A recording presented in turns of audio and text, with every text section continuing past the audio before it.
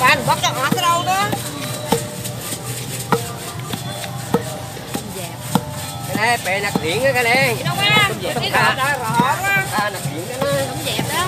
Cái